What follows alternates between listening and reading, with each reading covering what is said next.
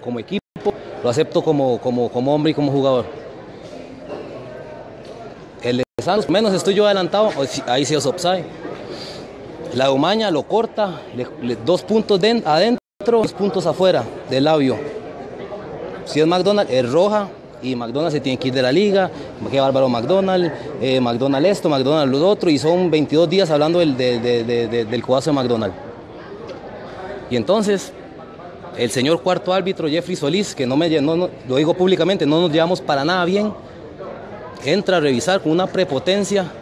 Estamos nosotros preparándonos en el gimnasio, haciendo este, ligas, activación, y el señor llega y, nos llaman. Ah, no están listos, me voy. Cuando estén listos me llaman. Con una prepotencia y una risa burlona, ahí donde uno dice. O sea, y se lo dije al, comisario al final del partido. O sea, ¿con quién me tengo que quejar cuando pasan esas cosas? Él estando a la par. ¿Quién, quién le da autoridad a ellos? ¿Quién le jala el aire a ellos? Nadie. Y otra vez, nosotros damos dentro todo, nos vimos todo dentro de la cancha. A los compañeros los veo a la cara, los veo a los ojos y todos sentimos lo mismo. Otra vez. ¿Qué le dicen los árbitros cuando usted les reclama? No puedo reclamarle, no me dejan ni tan siquiera llegar. Lo voy a votar, lo voy a votar. Si sigue, lo voy a votar.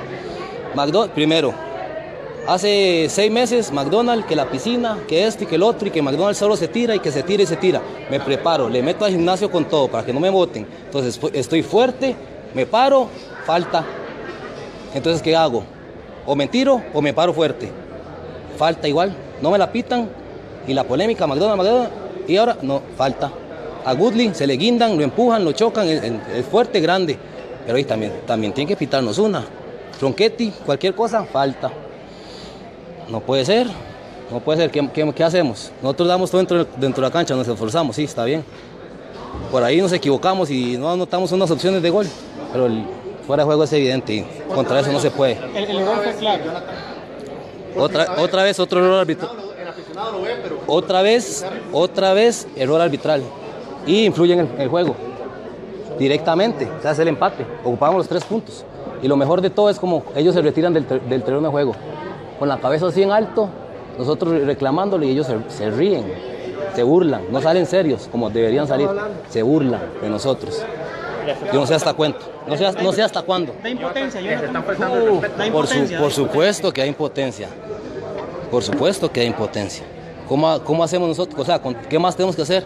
Se le derrumba los seis meses que trabajamos. O sea, Venimos de un golpe anímico contra Santos, de que ganamos al último minuto, pum, pum, pum, pum, venimos motivados, empezamos ganando, no sé, todo el partido ganando, insistiendo en nosotros, aquí y allá, y se nos cae el juego, los tres puntos, seis meses, y otra vez separaciones, y otra vez esto, y otra vez lo otro, del equipo por una decisión arbitral mal tomada. Pero eso es lo que yo digo, o sea, son cosas, penal, yo voy a saltar, Machado me empuja, me empresan entre los dos, Scott lo empujan también dentro del área cuando va a pelear la pelota en el aire y no pasa nada. Pero a nosotros mm, no los podemos ni volver a ver porque es falta.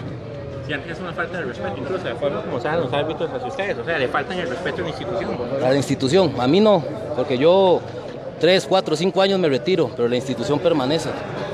Entonces yo creo que ya, ya está bueno, ya no se vale tanto. Yo creo, no sé qué hicimos nosotros tanto para que nos afecten tanto. La verdad es eso. Y es siempre con